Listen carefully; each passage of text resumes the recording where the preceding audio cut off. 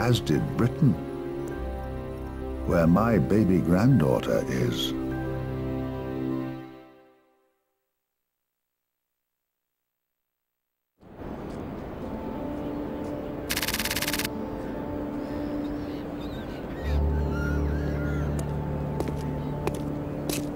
Is this seat taken? Knock yourself out. Thank you. A friend?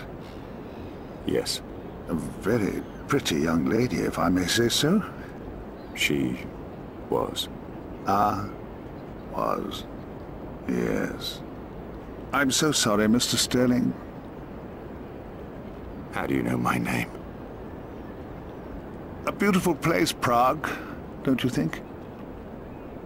I came here first out of the war, you know. Fell in love with it, and a handful of Czech women. I drank absinthe in the bars, walked the Charles Bridge. I was also romantic, deep down, somewhere. I suppose. How do you know my name? A wonderful place for rest and recuperation. Danny was right to send you here. Quite the spot. Convenient I was here as well. Convenient. Yes. I had a vision, you know. A dream of a better world, a more secure world. Man. We simply can't be trusted with anything, can we? Give us power unlimited, and we have to see what will happen, don't we? We have to break it, to see if we can fix it. That's our way, our design. We never can, you know. It's never the same. Who are you? Who am I? Hmm. A wonderful question. In how many different ways I could answer that. To you, I am Danny's employer, so to speak. At least the man who's been funding him for the past 13 years, paying for that lovely mansion in Hong Kong. I'm very tired. Who am I? Once head of an organization called Grey Wings. Father of Octopus. A stupid old man who thought a pointed fable could become reality. In this envelope are details of a place, a job, a final mission, if you like, that appeals to my sense of cliché. You make a success of it, you'll never have to work again. You fail it, few of us will be around to care. Open the package. Read the information. Listen, absorb. Then decide. Why should I trust you? What in hell makes you think I can trust you? Anyone? Kim, the girl, this woman, I saved her. Me. She's dead now. Why should I trust you? My dear boy, in no way, shape, or form should you ever trust me.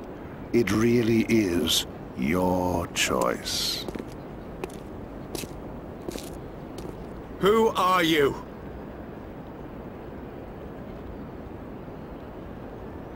I was John Gray.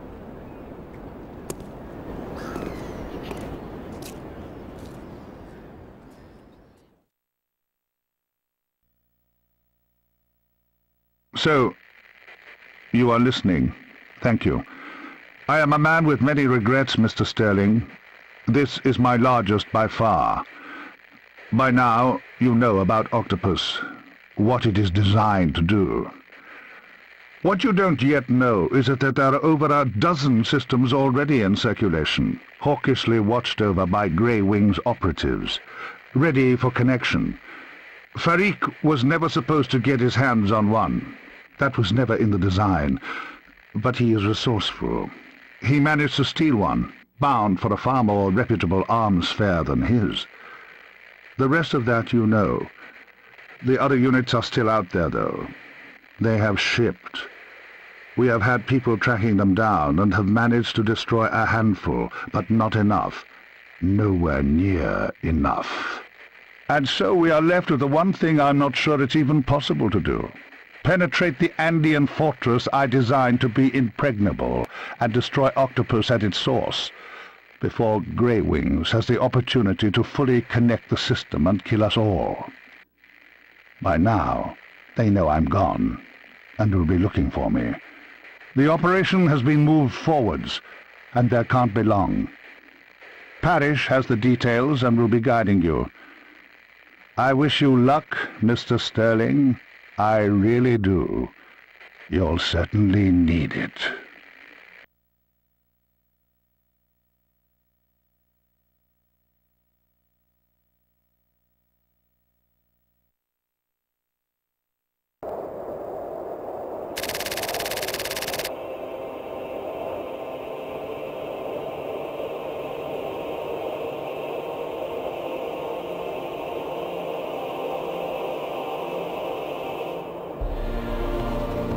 Wish you luck, Mr. Sterling. I really do. You'll certainly need it.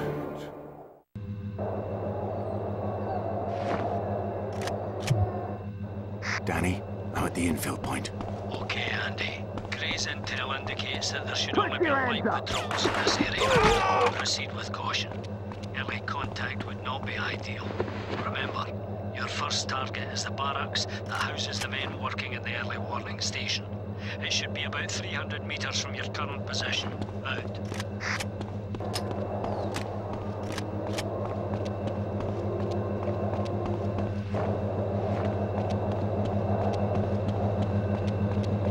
In my sights!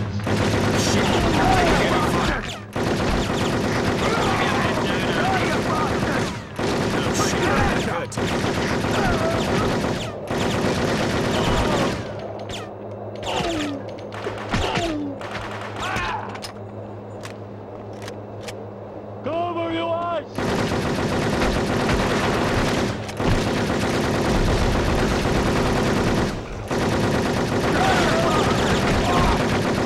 Grenade!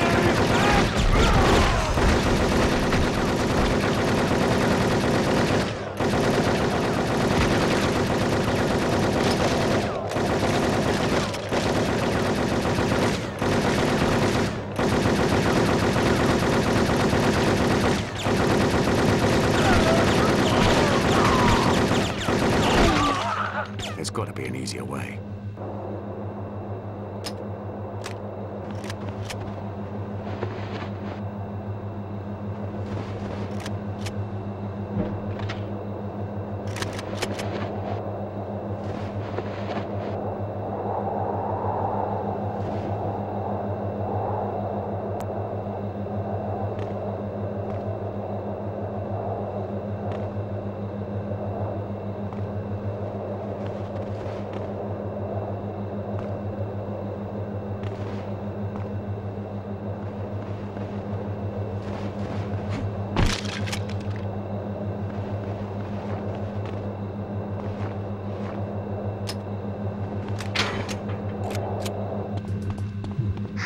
Danny, I've located the barracks. Good one. We're under There should be attack! a Hold it vernacular there! railway at the back. This is your route to the early warning station. I've just seen it. it! I'll make my way to the top of it. Out.